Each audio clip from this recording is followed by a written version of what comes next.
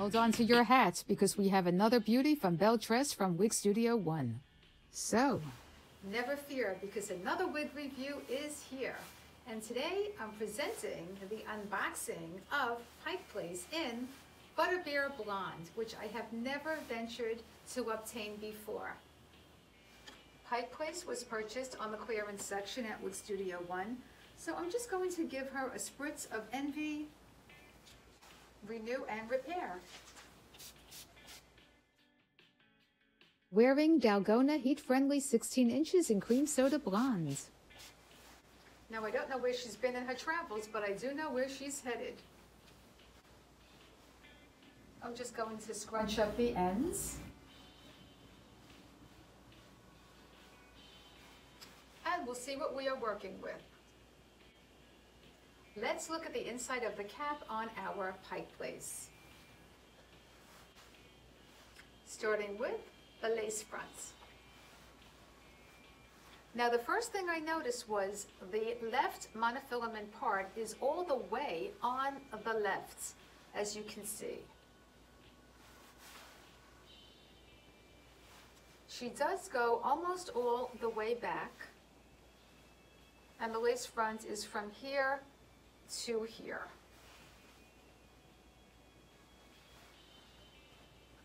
The ear tabs with spliced in hairs and the metal stay is here.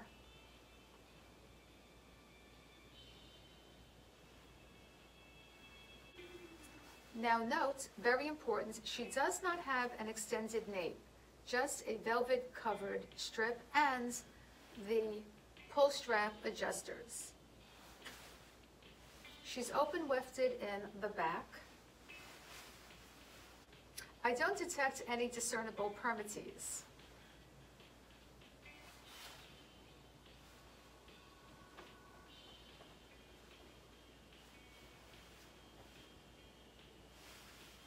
So off with our Dalgona 16 inches heat friendly and cream soda blonde and on with the review of Pike Place. I'm absolutely in love with this Butterbeer Blonde. Look at how the lace front is so gorgeous with the lighter color. That's these platinum-ish strands going all the way down to the hairline.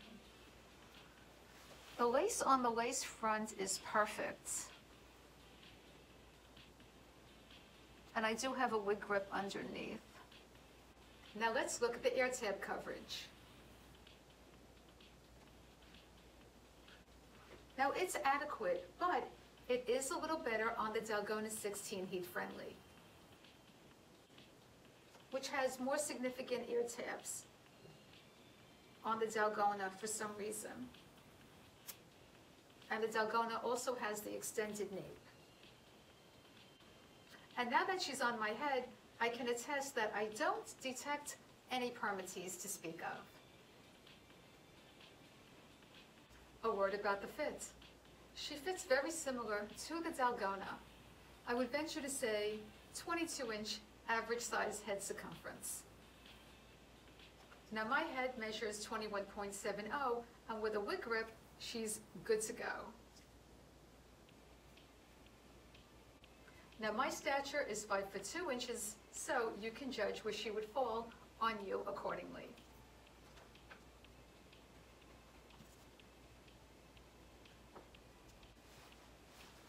The color is gorgeous. I did not realize until this moment how much warmer the cream soda blonde is compared to the butterbeer. Who knew? And we will be looking at the colors in the natural light, so stay tuned for that.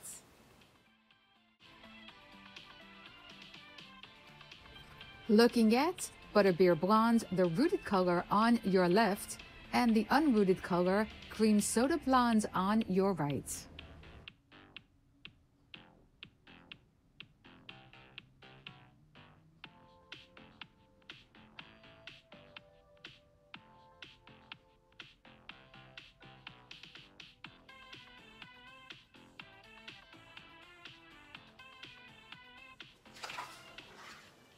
Are looking to add some more curl, in your Pike Place, I will be happy to show you how to do this in a brief tutorial.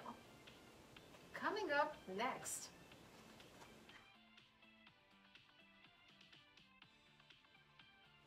It's brief tutorial time again. You will need an outlet to plug in your curling wands. A heat glove so you don't set your hands on fire.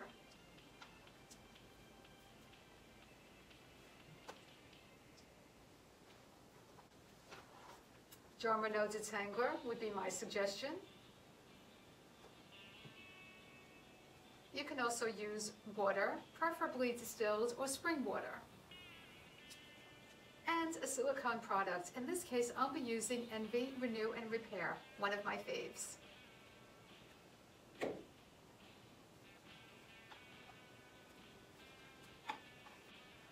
First thing you want to do is spray the section that you wish was more wavy, like so. Silicone spray at the tip. And now the magic happens. We will, before we turn on our curling wands,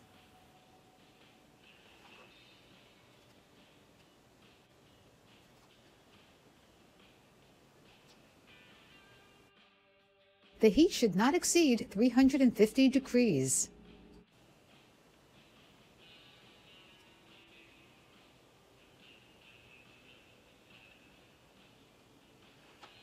Disengaging our wand and turning it off.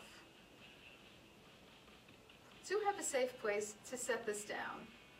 I am holding the wave in my hand securely because it's not going to be effective until it cools down, which will take about a minute.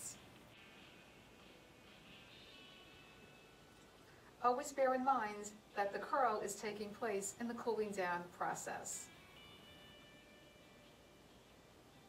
Ready, set, go.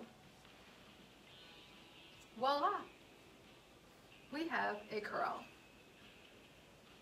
So what you can do with this curl is pull it down And of course, if you commence with separating it, you can create some beautiful waves. Any curling wand is fine. You choose what works for you. As a reminder, we invite you to shop at Wig Studio One and also join the Wig Studio One private Facebook group.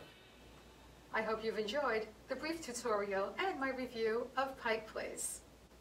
Until we meet again in the next video, stay safe.